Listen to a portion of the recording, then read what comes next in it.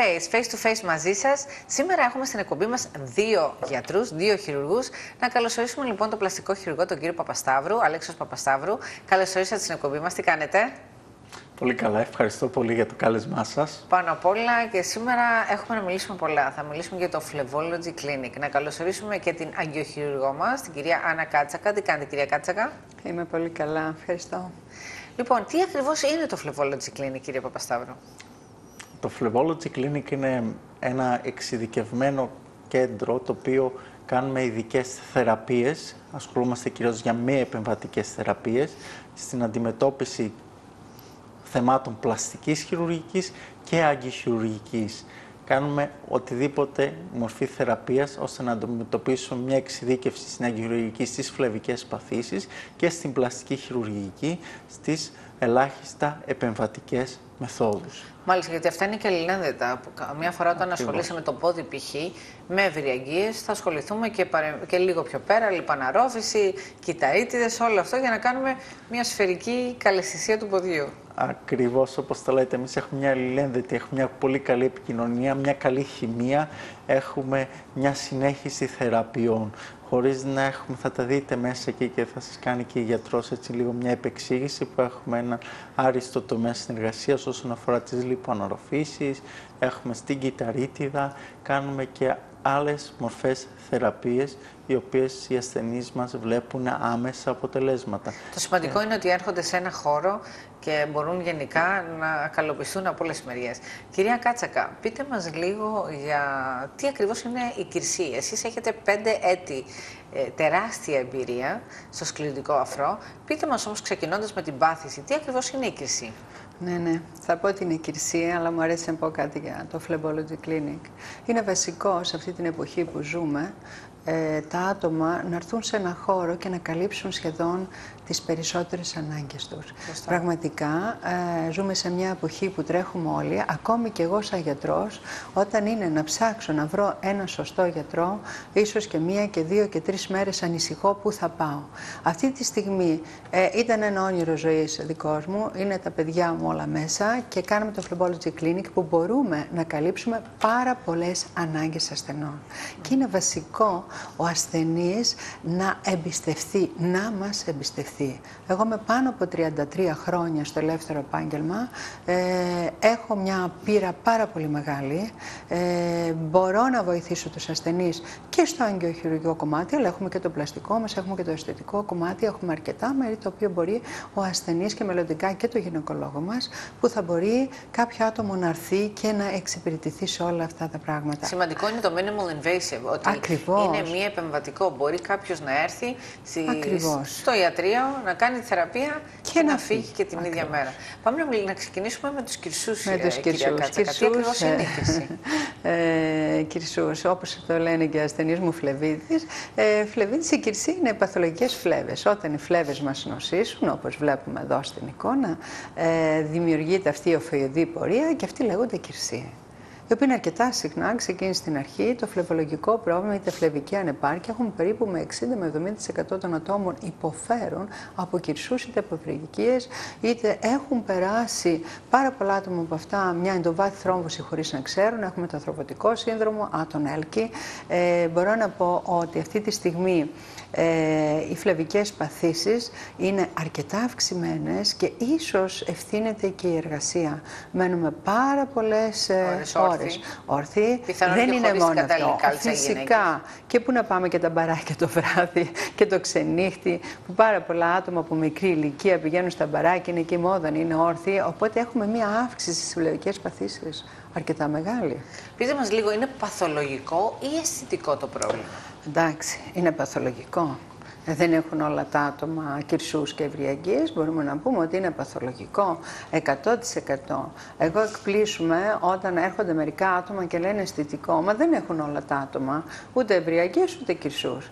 Άρα μπορούμε να πούμε ότι είναι ένα παθολογικό κομμάτι, άσχετα επειδή πολλές φορές οι κυρσοί είτε οι δεν δίνουν συμπτώματα, νομίζουν ότι είναι αισθητικό. Γι' αυτό και θα δούμε παρακάτω ότι έχουμε πολλά προβλήματα. Γιατί αυτό το άτομο δεν μετακινείται, επειδή δεν έχει πόνους, αφήνει το πρόβλημά του και βλέπουμε προχωρημένες καταστάσεις. Άρα και μέχρι που φτάνει το αισθητικό και που φτάνει το παθολογικό θα το πούμε πιο παρακάτω. Πώς γίνεται αλλά για η μένα είναι διάγνωση; παθολογικό. Μάλιστα. Η διάγνωση πώς γίνεται. Η κυρία Κάτσα; διάγνωση των κρυσών και οι ίδιοι ασθενείς βλέπουν ότι κάτι αλλάζει στο πόδι τους, είτε λέγεται άντρας είτε γυναίκα, βλέπουν διωγγώνονται οι φλέβες, πιθανότατα να έχουν δει τη μητέρα τους, να έχουν δει ε, κάποιους συγγενείς που είχαν κρυσούς, είτε έχουν χειρουργηθεί, είτε έχουν κάνει κάποια θεραπεία. Είναι πάρα πολύ εύκολα να κάνουν τη διάγνωση ακόμα και ασθενείς. Εμείς στο ιατρείο, σαν γιατροί, ε, έχουμε κάτι παραπάνω. Έχουμε το τρίπλεξ, τους επιρρήχους που μπορούμε να δούμε και να χαρτογραφήσουμε το πρόβλημα. Γιατί ο ασθενής θα έρθει με ένα κυρσό. Από εκεί και πέρα, ε, το βασικότερο απ' όλα στο κάθε γιατρό και αυτό ε, πρέπει ο γιατρός να έχει πείρα. Πρώτον, θα πρέπει να κάνει τη διάγνωση, να χαρτογραφήσει τον ασθενή, να δει ακριβώς ποιο είναι το πρόβλημά του και φυσικά ανάλογα να γίνει και η κατάλληλη θεραπεία. Σωστά. Γιατί αφ- βλέπουμε όμως ασθενείς και αφήνουν αυτό το πρόβλημα σε πάρα πολύ χρονικό διάστημα. Δηλαδή, αργούν να έρθουν σε εσάς, κυρία Κάτσα. Είναι πολλά. Καταρχάς είπαμε, δεν υπάρχει πόνος. Δεύτερον, ο φόβος. Ο φόβος είναι ότι χειρότερο στην αναβολή. Αν πάρω από το δικό μου αυτό, πάρα πολλές φορές φοβάμαι. Όταν είναι κάτι που πρέπει να πάω σε κάποιον συνάδελφο, παρόλο που είμαι γιατρός, υπάρχει ένας φόβος. Ο φόβος είναι ότι χειρότερο σε κάθε αναβολή μας. Να αναβάλουμε τα πράγματα και ιδιαίτερο στην υγεία μας. Και επίσης κάτι άλλο που θα το τονίσω γιατί το ζω με τους ασθενείς μου, αλλά και προσωπικώς και ίδια θα μιλήσω, είναι δεν βλέπουμε τον εαυτό μας.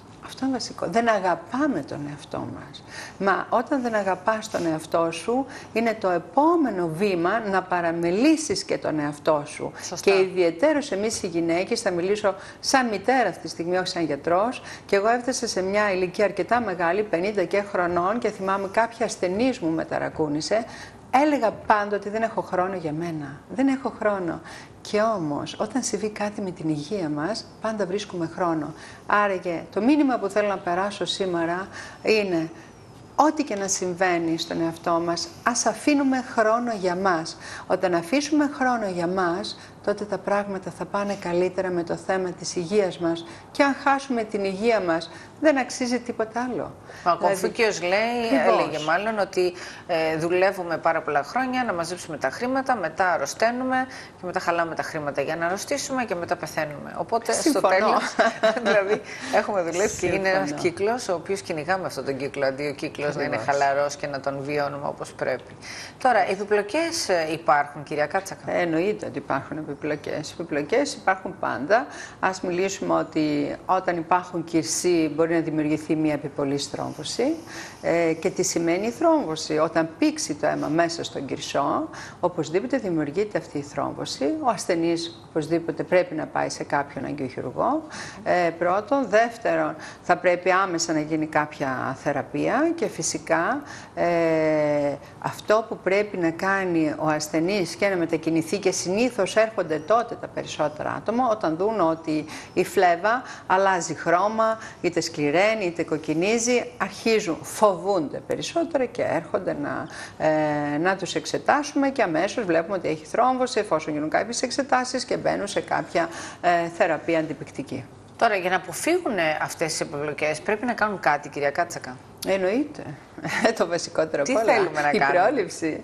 δηλαδή, καταρχάς, όταν βλέπουμε τους κυρσούς μας, όταν βλέπουμε εμβριαγγείε ή κυρσούς, οπωσδήποτε το πρώτο που πρέπει να κάνουμε είναι να ανησυχήσουμε και να πάμε σε κάποιον αγκιοχειρουργό. Γιατί; Θα πάμε να εξεταστούμε και ο άγκιοχειρουργός οπωσδήποτε θα μας δώσει την κατάλληλη θεραπεία που χρειάζεται ανάλογα με το πρόβλημά μας.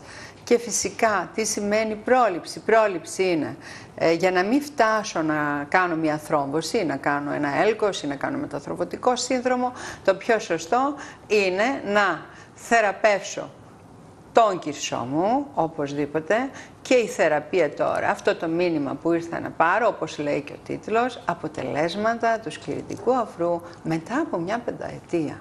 Όταν ξεκίνησα το σκληρητικό αφρό μετά από μια πενταετία, δεν το κρύβω ότι και εγώ ήταν κάτι καινούριο στην ιατρική, ξεκίνησα να το κάνω σιγά σιγά, τώρα μπορώ να πω ότι ένα μεγάλο ποσοστό ατόμων δεν κάνω χειρουργείο και κάνω μόνο την έκχυση του σκληρητικού αφρού με άριστα αποτελέσματα όπως θα δούμε και φωτογραφίες πριν και μετά. Άρα για μια πενταετία είναι πάρα πολύ για να φτάσουμε σε ένα σημείο να πούμε ότι πράγματι αυτή η μέθοδος είναι επαρκής, είναι μια μέθοδος που έχει αποτελέσματα, είναι μια μέθοδος που δεν πρέπει να τη φοβάται ο ασθενής και να έρθει άμεσα να αντιμετωπίσει το πρόβλημά του πριν να φτάσουμε στις επιπλοκές.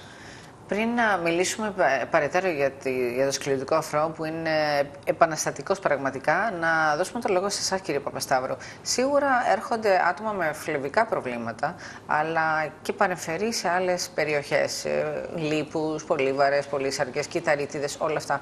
Βλέπουμε τέτοια πόδια. Εσείς βασικά τα βλέπετε; Ναι, έχω το το πλεονέκτημα να ζω σε ένα χώρο που έχει τέτοια πόδια να βλέπουμε και πάντα μια καλή συνεργασία αποφέρει ένα άριστο αισθητικό αποτέλεσμα και εμείς αυτό λέω, και αυτό λέω στους ασθενείς μας, ναι, με θα ξεκινήσουμε με την παθολογία των χρυσών και μετά θα έρθουμε εμείς να τελειοποιήσουμε, να βάλουμε και εμείς το χεράκι μας, να κάνουμε μια τελειοποίηση του αποτέλεσματος, να κάνουμε να διορθώσουμε το τοπικό πάχος ή την κυταρίτιδα που θα έχει μια κυρία. Οπότε μας προλάβατε. Η ερώτηση ποιο κάνουμε πρώτα είναι η παθολογική πάθηση που κάνει η κυρία Κάτσακα σαν αγκαιοχειρουργός και μετά επεμβαίνετε εσείς. Ακριβώς. Μετά από πόσο χρονικό διάστημα μπορούμε να πούμε ότι μπορεί να επέμβει ένας πλαστικός χειρουργός; Συνήθως τα άτομα που κάνουν το σκληρητικό αφρό θα πρέπει να περιμένουν περίπου ένα μήνα μετά τη θεραπεία για να έχουμε και ένα καλό αποτέλεσμα. Έτσι είναι κυρία Κάτσακα; Ε, ναι, μπορεί και να προηγηθεί. Δεν έχω πρόβλημα. Εγώ πάρα πολλές φορές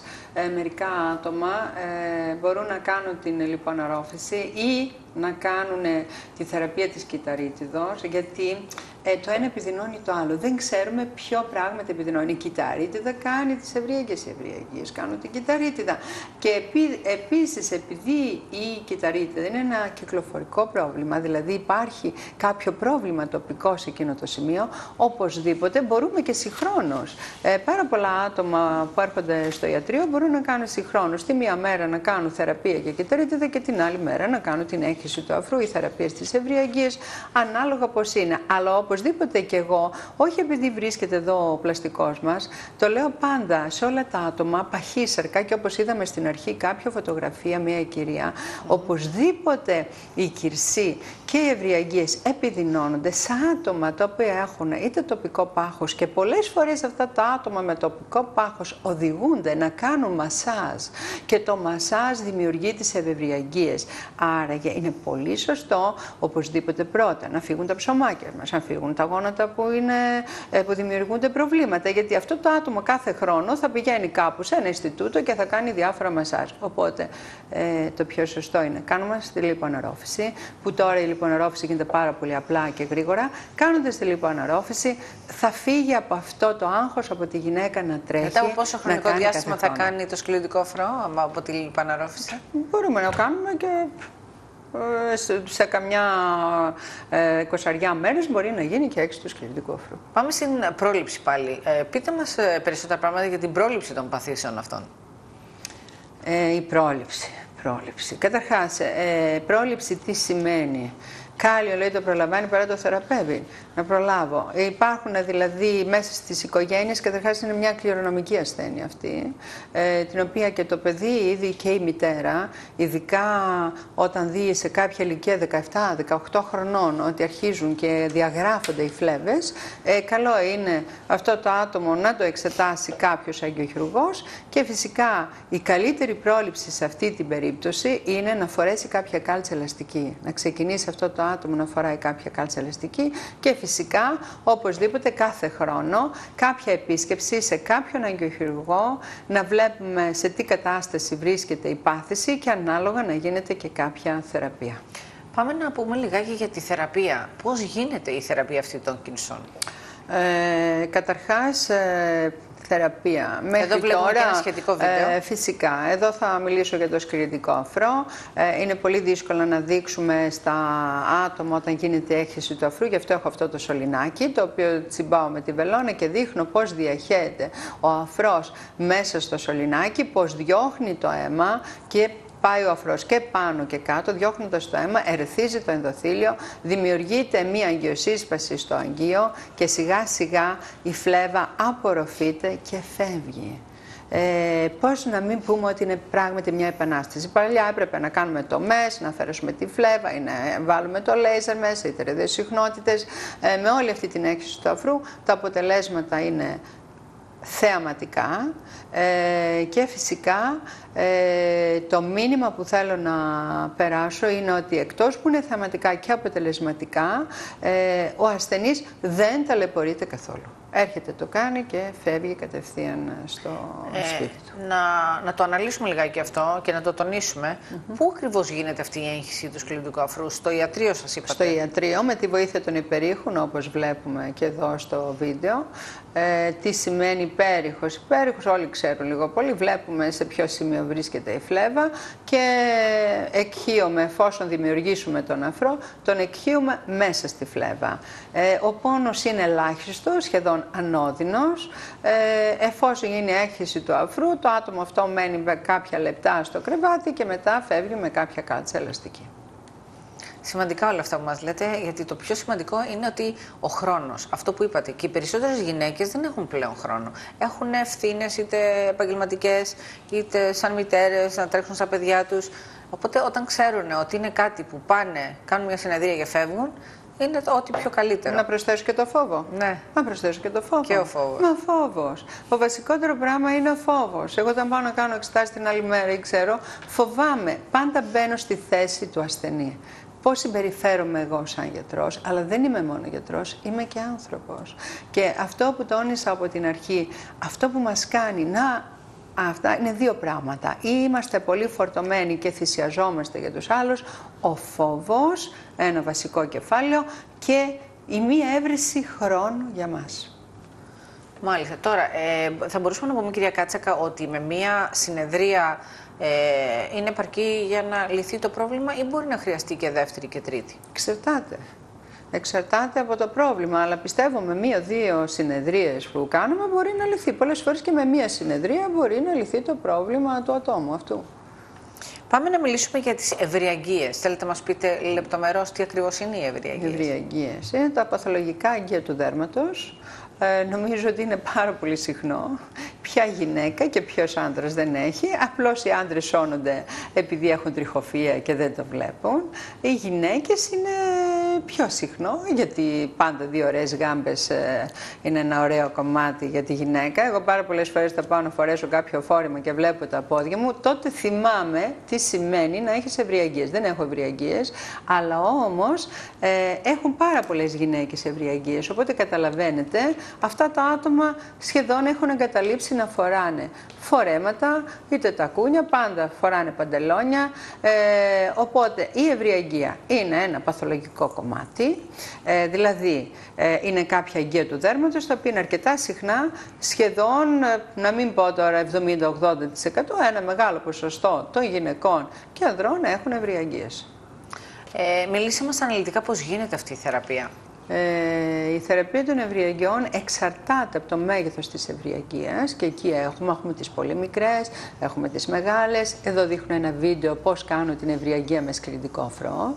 Ε, ο σκληρητικός αφρός έχει άριστα αποτελέσματα και φαίνεται πάρα πολύ ωραία πώς εξαφανίζεται η ευρυαγγεία την ίδια στιγμή Εκτός που εξαφανίζεται, τι κέρδισα με τον αφρό. Καταρχάς στον αφρό βάζουμε ελάχιστη ποσότητα φαρμάκου, μπαίνει περισσότερο αέρας, τα αποτελέσματα είναι τέλεια, το βλέπουμε εδώ και στο βίντεο μας και φυσικά μπορούμε να ε, θεραπεύσουμε πολύ μεγάλες εκτάσεις ευρυαγγιών. Γιατί υπάρχουν άτομα τα οποία είναι γεμάτα, κυριολεκτικά γεμάτα. Θα δούμε αρκετές φωτογραφίες πριν και μετά, όπως βλέπουμε εδώ, αυτή η κυρία με μία συνεδρία έφυγε με τον αφρό η ευρυαγγεία της όλη. Αλλά γενικώς θέλω να πω, Πράγματι είναι μια επανάσταση ως κριτικός αφρός, γιατί αφενός με ε, θεραπεύει τις ευρυαγγείες, αφετέρου βάζουμε μικρότερη ποσότητα και κάτι άλλο που είμαι περισσότερο για το χρόνο, μπορεί αυτό το άτομο με μία, δύο, τρεις επισκέψεις να τελειώσει τις ευρυαγγείες του. Μάλιστα, πολύ σημαντικά όλα αυτά που μας λέτε. Να ρωτήσουμε πόσο επικίνδυνο είναι. Εάν κάποιος αφήσει τις ευρυακίες, δεν κάνει απολύτως τίποτα, Ναι. εκεί τι μπορεί να αντιμετωπίσουμε. Ε, δεν μπορώ να πω ότι είναι πάρα πολύ επικίνδυνο. Συνήθως βλέπουμε σε κυρίες 60-65 χρόνων που έχουν αφήσει τις ευρυαγγείε δημιουργούνται κάποιες μικροαιμορραγίες. Θα πεις μικροαιμορραγία. Εννοείται, δεν είναι μεγάλη αιμορραγία, αλλά ένα άτομο, αν δεν το πάρει είδηση, κοιμάται το βράδυ, κάποια στιγμή οπωσδήποτε θα χάσει μια μεγάλη ποσότητα αίματος. Ε, κάποια στιγμή μπορεί υπήρχε και κάποιο άτομο που χρειάστηκε να κάνει μετάγγιση αίματος. Έχασε τόση μεγάλη ποσότητα, έστω από κάποια ευρυαγγεία, η οποία ευρυαγγεία όσο μένει στο δέρμα, ε, κατά κάποιο τρόπο το δέρμα αυτό λεπταίνει, οπότε είναι πάρα πολύ εύκολα να αιμορραγήσει η ευρυαγγεία. Έχετε κάποια ερώτηση κύριε Παπασταύρου, σας βλέπω προβληματίζεστε. Όχι, δεν προβληματίζομαι. Είναι, πιστεύω και εγώ ότι η θεραπεία έχει πολύ καλά αποτελέσματα. Μπορώ να σας πω κιόλας μέσα εγώ από το χώρο ότι όλοι οι ασθενείς βγαίνουν ικανοποιημένοι και είναι κάτι πιστεύω που έχει δώσει τη λύση στον ασθενή, όχι στο γιατρό, στον ασθενή, ότι φεύγει κατευθείαν και έχει άριστο, έχει άριστα αποτελέσματα. Αποτελέσματα. Έχει τα αποτελέσματα και έχει εμφανή αποτελέσματα που το βλέπουν την ίδια στιγμή της θεραπείας. Αυτό άλλωστε είναι και το βραβείο για τον γιατρό και για την κυρία Κάτσακα και για σας, γιατί βλέπετε ότι το αποτέλεσμα είναι άμεσο και ποιος δεν θέλει ένα άμεσο αποτέλεσμα. Τώρα, κυρία Κάτσακα, είναι κάτι που πρέπει να προσέξει κανείς όταν κάνει αυτή τη θεραπεία, μετά Όχι, δηλαδή. τίποτα. Απλώς ε, όταν φεύγει από το ιατρείο φοράει κάποια κάλτσα ελαστική. Ε, τίποτα, κανονικά. Επιστρέφει στην εργασία του, ε, στις καθημερινότητές του. Αυτό που θέλω να τονίσω κάτι άλλο ε, και θα μείνω σε αυτό με μια εμπειρία πάνω από 33-36 χρόνια. Μην το λέτε γιατί Πάνω θα σας πιστέψει, στην- εκτός αν έχετε ένα γιο δίπλα σας που είναι πλαστικός Ε, καλά, και εννοείται. σας προσέχει. Εννοείται. Μάθαμε εννοείται. και τα Πάντα βάζει το μυστικά σας. χεράκι του. Πάντα βάζει το Μάθαμε χεράκι. τα μυστικά σας, κυρία Κάτσακα, για να πούμε, ρωτήσαμε πριν την Ακριβώς. εκπομπή. Στην αρχή είπαμε αισθητικό ή παθολογικό. Εγώ αυτό θέλω να τονίσω και να περάσω εδώ στα άτομα που μας βλέπουν. Ε, όταν έρχεται κάποια κυρία ε, και είτε κάποιος άντρας και έχει κάποιο κυρσό ή ευρυαγγεία, οπωσδήποτε τους ενδιαφέρει το παθολογικό, αλλά τους ενδιαφέρει και το αισθητικό. Τι πιο όμορφο πράγμα να επέμβει ο γιατρός να κάνει μία θεραπεία και να μην φαίνεται απολύτως τίποτα. Έρχονται τα πόδια μετά από ένα-δύο χρόνια, τρία και θαυμάζω τα πόδια αυτών των ατόμων που δούλεψα. Λάμπουν.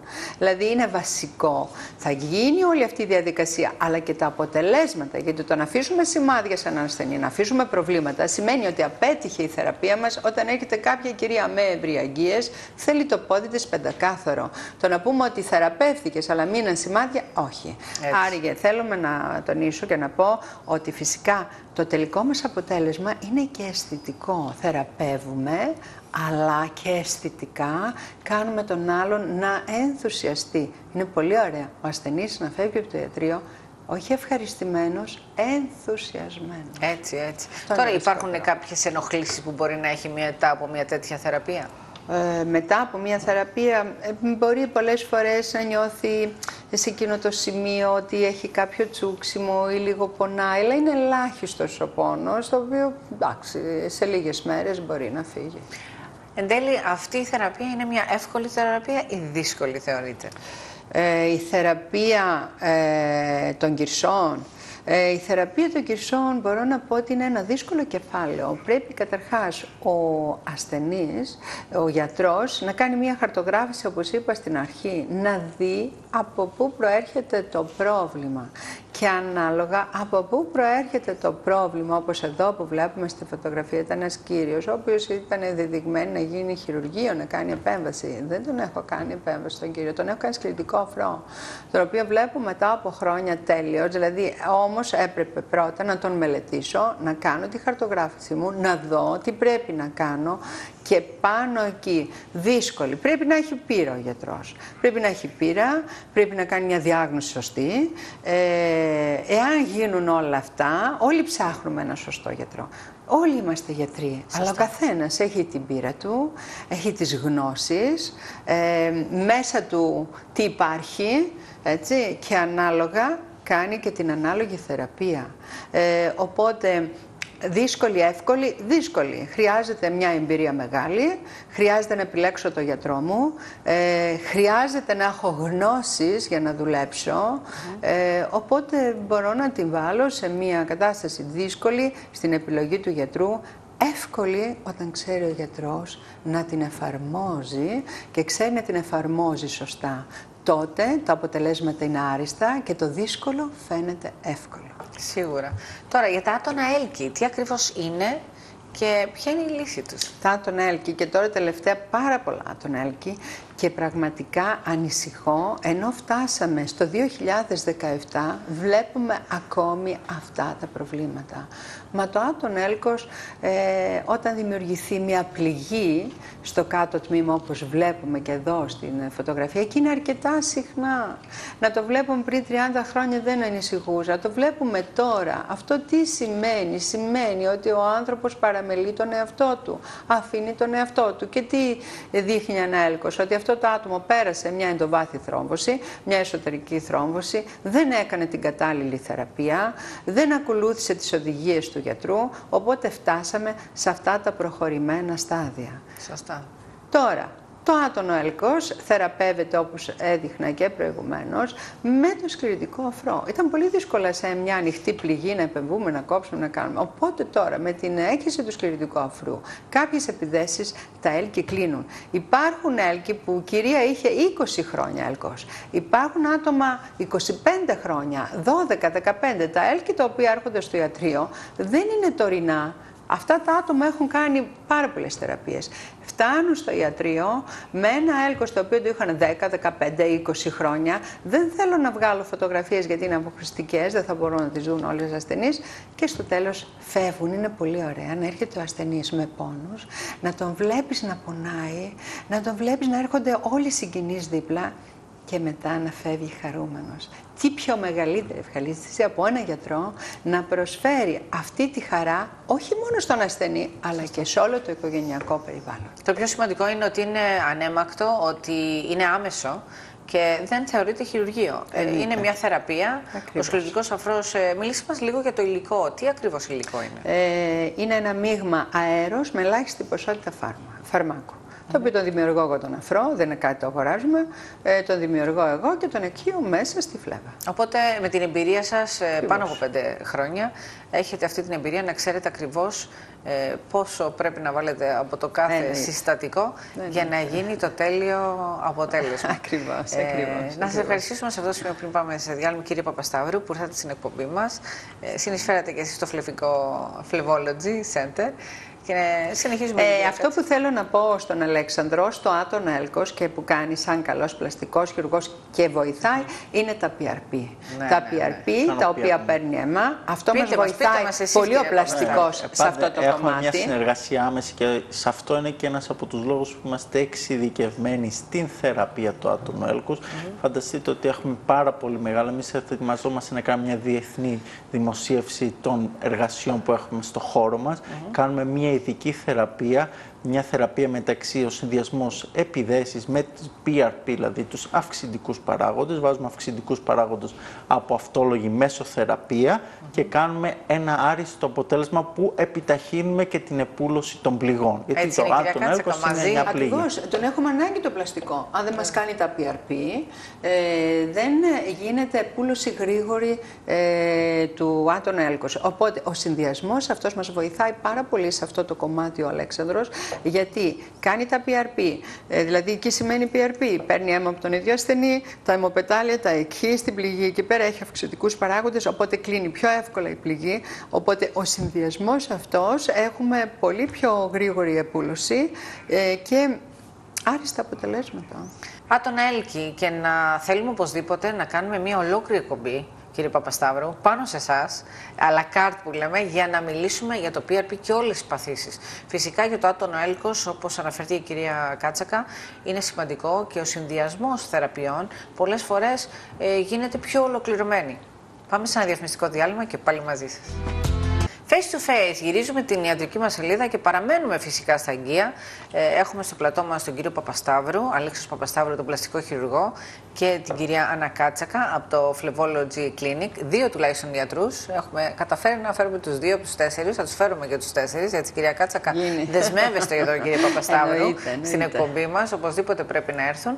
Ε, μιλάμε για τα Αγγεία, αλλά το πρόβλημα αυτό που φοβίζει πάρα πολλούς και άλλους χειρουργούς είναι οι θρομβώσει. Έτσι δεν είναι, κυρία Κάτσακα. Εννοείται. Πάμε να μιλήσουμε ακριβώς τι είναι η αγκιακή θρόμβωση. Φοβίζει η θρόμβωση και ίσως και αυτό είναι που παρακινεί πολλές φορές τον ασθενή να έρθει να κάνει κάποια θεραπεία, ο φόβος. Ο φόβος το οποίο είναι το μεγαλύτερο κομμάτι στη ζωή μας και μας διοικεί σε πάρα πολλά πράγματα. Τι σημαίνει θρόμβωση; Η θρόμβωση είναι όταν πήξει το αίμα μέσα σε κάποια φλέβα, αυτό ονομάζεται θρόμβωση. Έχουμε επιπολής θρόμβωση και εντοβάθη θρόμβωση. Επιπολής θρόμβωση είναι όταν υπάρχουν κάποιοι κυρσοί σε αυτά τα άτομα, τα οποία επειδή μένει στάσιμο το αίμα, εδώ βλέπουμε μια πολύ ωραία θρόμβωση και βλέπουμε ας πούμε αυτό που λέγαμε και με τον πλαστικό προηγουμένως. Ωραία το λέμε Πόσο- γιατί υπάρχει λύση, αλλιώς δεν φαίνεται Ακριβώς. ωραία. Αυτή η φωτογραφία να μείνει έτσι είναι πολύ ωραία. Δηλαδή αυτό το άτομο είναι παχύσαρκο. Τα παχύσαρκα άτομα, είτε που έχουν τοπικό πάχος, είναι πολύ πιο εύκολα να κάνουν θρομβώσεις. Άρα για είναι καλό να λύνουμε τα προβλήματα είτε του τοπικού πάχους είτε του πάχους ε, για να μην δημιουργηθούν προβλήματα με τις φλέβες μας. Άρα και έχουμε επιπολή θρόμβωση, εδώ βλέπουμε επιπολή θρομβώσεις, αλλά έχουμε και εντοβάθη θρομβώσεις, οι οποίες θρομβώνονται οι εσωτερικές μας φλέβες. Είναι ένα αρκετά συχνό φαινόμενο, ε, μπορεί να φοβόμαστε, όχι θα πάθουμε εγκεφαλικό, όχι ανακοπή καρδιάς, αλλά και οι θρομβώσεις είναι αρκετά συχνές. Δηλαδή, ειδικά με την, ε, τα άτομα τα οποία ε, μένουν αρκετές μέρες ε, κλινήρης, είτε ε, άτομα τα οποία δεν κινούνται, είτε έχουν χειρουργηθεί ιδιαίτερως από διάφορες επεμβάσεις ορθοπαιδικές. Μπορεί να δημιουργηθεί κάποια θρόμβωση εντοβάθη, αλλά και η επιπολής είναι αρκετά συχνή. Σαν, ε, Τώρα, ποιες είναι αυτές οι επιπλοκή; φλέβες οι οποίες μπορεί να πάθουν ε, θρόμβωση. όλες μπορούν να πάθουν, Όλες. αλλά περισσότερο αν μιλήσουμε τώρα για τους κυρσούς, για τις επιφανειακές φλέβες, όλες μπορούν να πάθουν. Ιδιαίτερα σε αυτά τα άτομα, ε, τώρα τελευταία ήρθαν μερικές στο ιατρείο που είχαν 20-30 χρόνια, δεν δίναν σημασία, οπότε κάποια στιγμή άρχισαν να βλέπουν ότι κοκκίνησε το πόδι, άρχισε να πονάει και ο πόνος και ο φόβος τους έφερε στο ιατρείο. Τώρα, ποια είναι τα συμπτώματα αυτά τα οποία α, Ε, έχουν αυτοί οι ασθενείς, ναι. κυρία Κάτσακα, γιατί θα Ε, παραπονεθούν και θα έρθουν στο ιατρείο σας. Ακριβώς, ακριβώς. Συνήθως αυτά τα άτομα που έχουν ε, ε, την επιπολής στρόμβωση έχουν κοκκινίλα, όπως βλέπουμε εδώ. Ε, επίσης ε, αρχίζουν πονάνε, που μέχρι εκείνη τη στιγμή δεν πονούσε και σε εκείνο το σημείο που υπήρχε η φλέβα σκληραίνει. Αυτά είναι τα τρία συμπτώματα που κάνουν τον ασθενή να, να μετακινηθεί και να πάει σε κάποιον αγκιοχειρουργό για να λύσει το πρόβλημά του. Μάλιστα. Οπότε ε, παραπονούνται για αυτά τα συμπτώματα και η διάγνωση πώς γίνεται. Είναι κλινική, υπάρχουν Ε, κάποιες εντάξει, εξετάσεις; και κλινικός το βλέπουμε. Προς, ε, εμείς πάντα θα κάνουμε ένα τρίπλεξ να δούμε μέχρι πού έχει φτάσει η θρόμβωση. Γίνεται, όπως είπαμε, αυτή η χαρτογράφηση και ανάλογα θα κάνουμε και τη θεραπεία. Ε, δηλαδή, οπωσδήποτε δεν μένουμε μόνο. Γιατί και ο ασθενής έχει κάνει τη διάγνωση μόνος του και βλέπει ότι κάτι συμβαίνει. Αλλά από εκεί και πέρα, εμείς, σαν γιατροί, θα πάμε λίγο πιο βαθιά, θα ψάξουμε περισσότερο το πρόβλημα για να δούμε μέχρι πού έχει φτάσει η θρόμβωση και ανάλογα μετά θα μπει και σε κάποια ε, θεραπεία ο ασθενής. Η θρόμβωση θα μπορούσαμε να πούμε ότι έχει κάποια στάδια. Δηλαδή, υπάρχουν η πιο επιφανειακή θρόμβωση. Ναι, ναι, εννοείται. Δεν είναι στάδια. Έχουμε τις επιφανειακές φλέβες που μπορούν να θρομβωθούν και οι εσωτερικές φλέβες. Όταν ε, δημιουργηθεί θρόμβωση στην ε, εντοβάθηση στις εσωτερικές μας φλέβες, είναι πολύ πιο επικίνδυνη από ότι στην εξωτερική ε, θρόμβωση, αλλά και στις δύο περιπτώσεις, είπαμε, ανάλογα που έχει δημιουργηθεί, σε ποιο σημείο της φλέβας έχει δημιουργηθεί η θρόμβωση, δίνεται και ανάλογα η θεραπεία και η επικινδυνότητα της κάθε θρόμβωσης που θα δημιουργηθεί. Ωραία, στο πείτε μας πόδι. αναλυτικά τότε πώς ε, αντιμετωπίζουμε μια επιφανειακή θρόμβωση; Μμμ. Επιφανειακή θρόμβωση, καταρχάς ε, μπορούμε, έχω και μια πολύ ωραία φωτογραφία, μπορούμε να αφαιρούμε τους θρόμβους, αν είναι φρέσκος ο θρόμβος και γίνεται ίαση αμέσως. αυτή ακριβώς η φωτογραφία γίνεται αφαίρεση του θρόμβου, βλέπουμε πώς είναι μαύρο μέσα το αίμα, ε, κάνουμε κάποια τομούλα μικρή, αφαιρούμε τους θρόμβους μέσα, ε, στέλνουμε το άτομο στο σπίτι, αν χρειαστεί βάζουμε κάποια υπαρίνη, ε, ιδεμία ανάλογα με την περίπτωση, πολλές φορές μπορεί και να μην χρειαστεί. Αυτή είναι η επιπολής. Όμως, όταν έχουμε εντοβάθη θρόμβωση, εκεί είναι πιο δύσκολα τα πράγματα. Σε εκείνη την περίπτωση θα πρέπει αυτό το άτομο να νοσηλευτεί, ανάλογα σε ποιο σημείο έχει δημιουργηθεί η θρόμβωση. Θα πρέπει να παραμείνει κάποιες μέρες είτε στην κλινική είτε στο σπίτι σε ακινησία. Θα μπει σε υπαρίνη και μετά από εκεί και πέρα φυσικά, είτε από 7-8 μέρες ανάλογα, μετά θα δούμε εμείς αυτό το άτομο μπορεί να σηκωθεί και να φορέσει κάποια κάλτσα ελαστική. Τώρα, όταν έχουμε μία θρόμβωση η οποία είναι πιο βαθιά, εκεί πώς αντιμετωπίζετε; Με, όπως είπα προηγουμένως, και ακινησία στο κρεβάτι ε, για κάποιες μέρες και φυσικά, επειδή είναι επικίνδυνο το άτομο αυτό, ανάλογα αν είναι πολύ ψηλά, θα πρέπει να κινητοποιηθεί τελείως. Ούτε για τουαλέτα δεν πρέπει να πάνε αυτά τα άτομα. Γίνεται η θεραπεία 8-10 μέρες ανάλογα και μετά με κάποια κάλτσα ελαστική μπορεί να σηκωθεί και να ξεκινήσει να κάνει τις καθημερινότητες και φυσικά με μία προφύλαξη αντιπικτικής αγωγής για ένα εξάμεινο. Οπότε είναι δύσκολα τα πράγματα. Είναι δύσκολα γι' αυτό και ο ασθενής πρέπει να ξεκινήσει όταν αρχίζει και βλέπει ότι έχει προβλήματα φλεβικά, καλό θα είναι να πηγαίνει σε κάποιον γιατρό, σε κάποιον άγγιοχειρουργό ε, και να είναι υποπαρακολούθηση. Τουλάχιστον μία φορά του χρόνου, εγώ λέω στους ασθενείς μου ότι πρέπει να έρχονται να κάνουν τον επανέλεγχο και να βλέπουν σε τι κατάσταση είναι. Τι θα πρέπει να κάνει ο ασθενής ή ο ασθενής για να μην δημιουργηθεί μια θρόμβωση; Θα πρέπει, το βασικότερο από όλα, είπαμε, πρόληψη, τι κάνω; Θα θεραπεύσω τις φλέβες μου, θα φοράω κάποια κάλτσα ελαστική και τι κάνει η κάλτσα ελαστική; Η κάλτσα ελαστική πιέζει τη φλέβα να μην γεμίζει αίμα, οπότε προστατεύει κατά κάποιο τρόπο και φυσικά το βασικότερο από όλα, τι θα κάνω, θα θεραπεύσω τους κυρσούς μου, τουλάχιστον τους εξωτερικούς κυρσούς, αυτό που μπορώ να κάνω.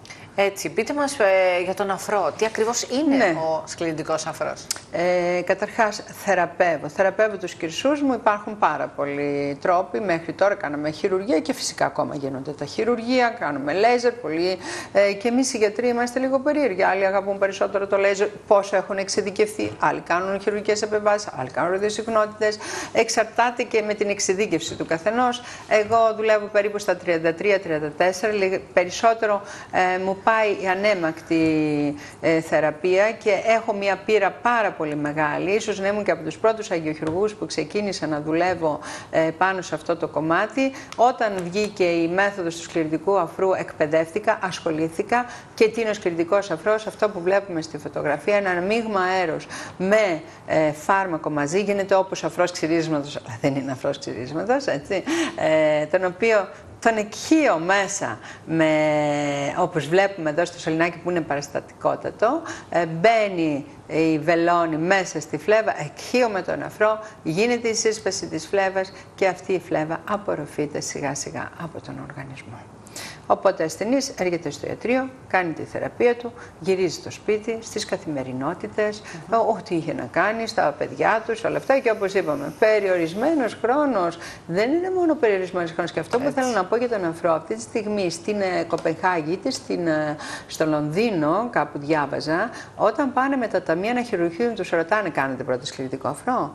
Αυτή τη στιγμή στην Αμερική πήρε την έγκριση στην Αμερική και γίνεται ένας χαμός με το θέμα του σκληρητικού αφρού. Άρα θέλω να πω ότι είναι και αυτό ένα, μια μέθοδος η οποία μας λύνει πάρα πολλά προβλήματα.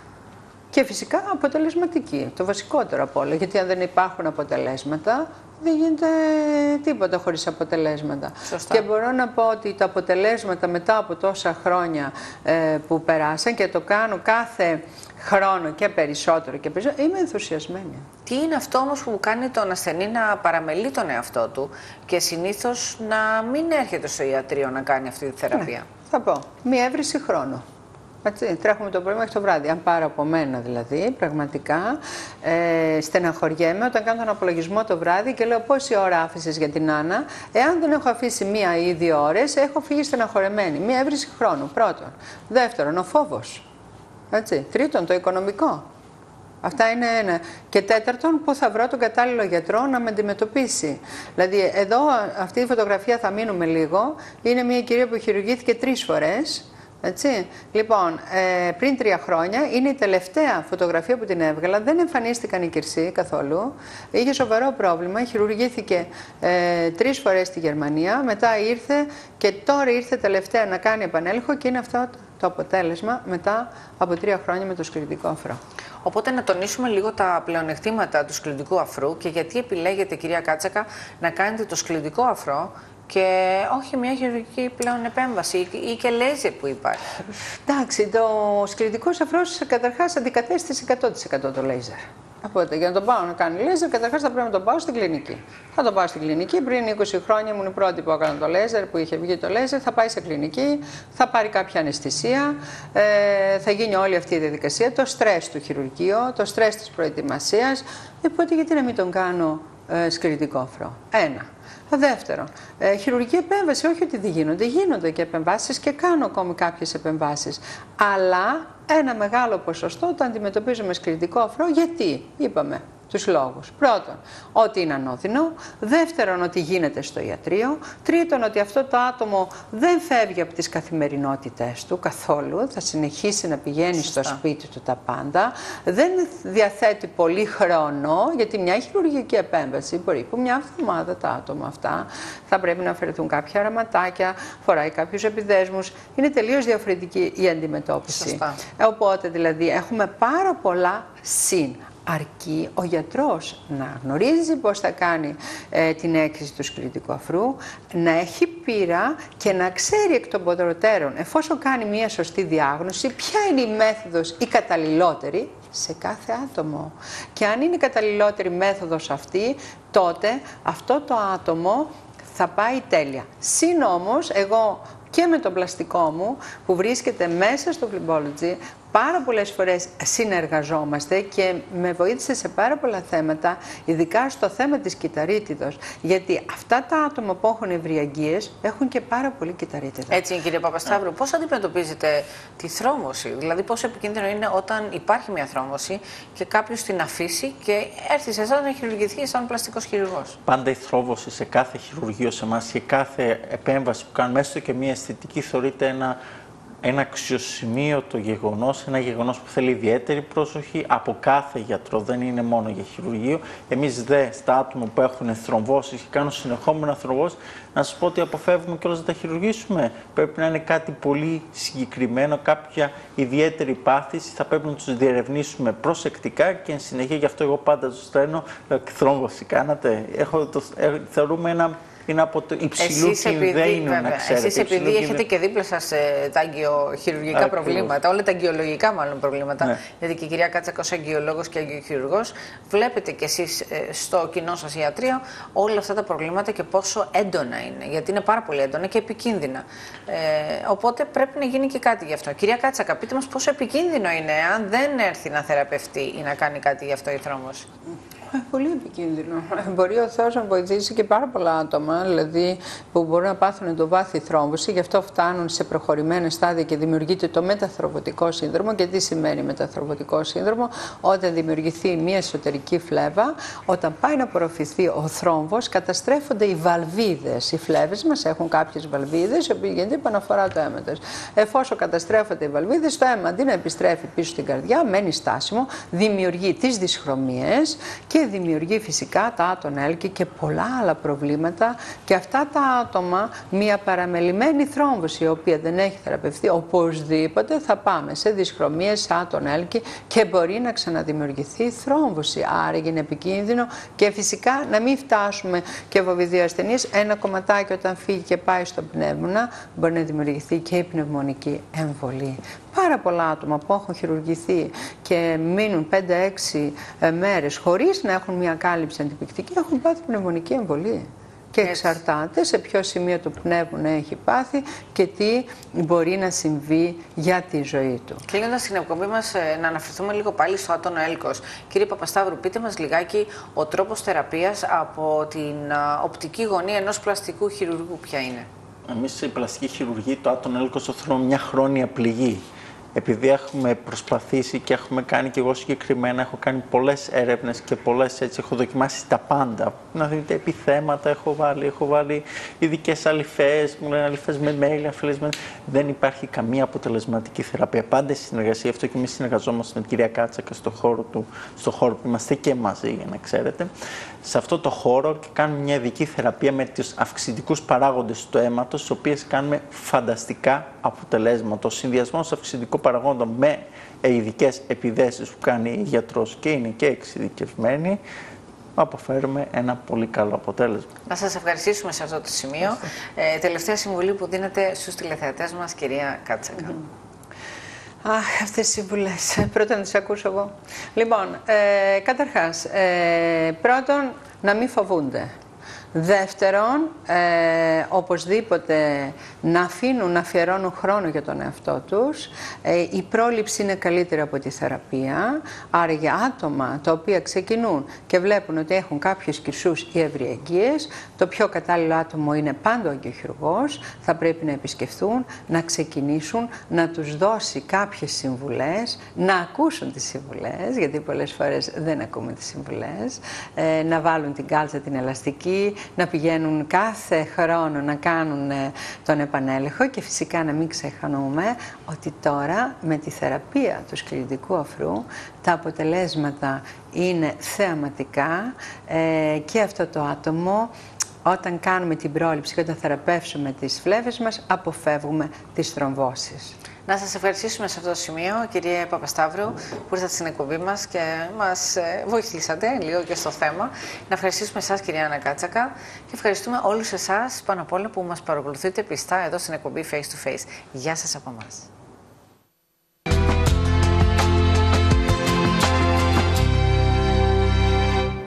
Face to face, face to face μαζί σας. Σήμερα καλεσμένο έχουμε έναν ιδιαίτερο γιατρό. Θα πούμε ιδιαίτερο γιατί είναι από την όμορφη Ινδία και κάνει αρχαία ιατρική. Τον Dr. Kesavan Vasu. Hello, Dr. Vasu. How are you? Hello, hi Asmina. Να καλωσορίσουμε τον γιατρό μας. How are you? I am fine. Hello to Greece. Hello to Greece uh, mostly. Can you kindly tell us what exactly is ancient uh, medicine and Ayurveda? So ρωτάμε τον γιατρό μας τι ακριβώς είναι η αρχαία ιατρική. Ancient medicine, when the modern science was not there. Όταν η μοντέρνα επιστήμη δεν ήταν εκεί, So the herbal medicine, which was well known all over the world, πάνω απ' όλα ήταν ε, η, η, η ιατρική μεταβόταν όπως γνωρίζουμε και εμείς εδώ στην Ελλάδα. especially in India, Ayu means long life, Right. and Most- Veda is our scriptures. Exactly. Λοιπόν, η, η, αρ- η Ινδία, όπως και η Ελλάδα, η αρχαία ιατρική, ομοιοπαθητική που κάνουμε, υπάρχουν λύσεις για όλα. Can you tell us diseases, what can it cure?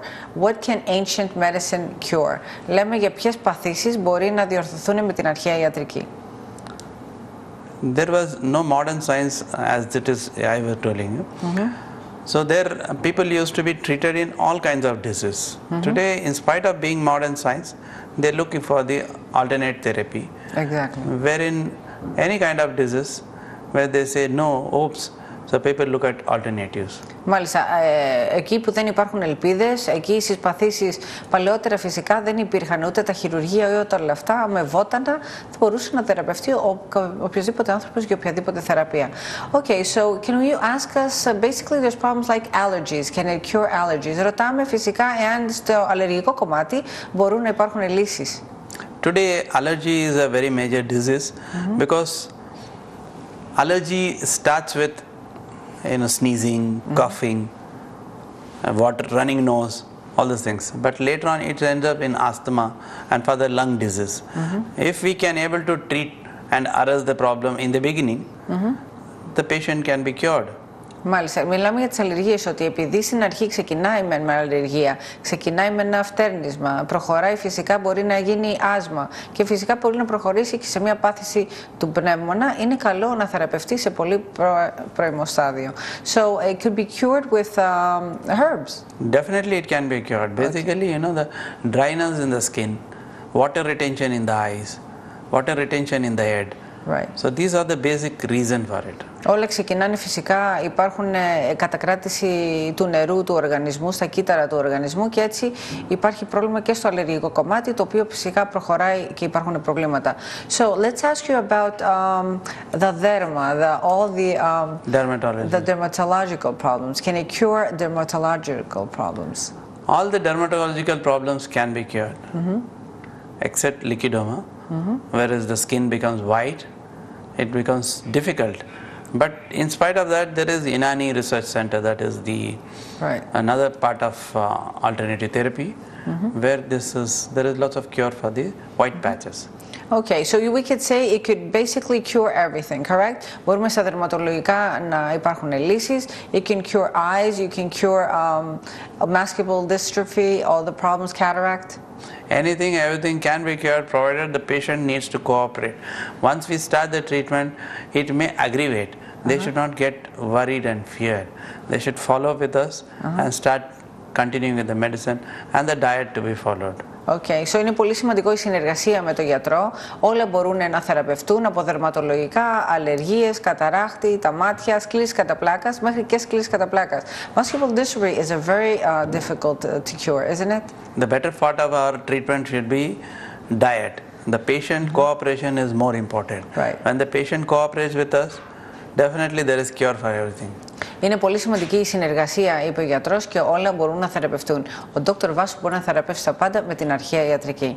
Thank you so much, Dr. Vasu, for explaining to us um, all the therapy that can be done. Thank you for coming on our show. Thank you very much. Thank you, Asmina. Thank you, Greece. Ευχαριστούμε πολύ τον Dr. Βάσου που ήρθε εδώ στην εκπομπή Face to Face και μας ενημέρωσε για την αρχαία ιατρική και μάλιστα υπάρχουν λύσεις για όλα. Γεια σας από εμάς.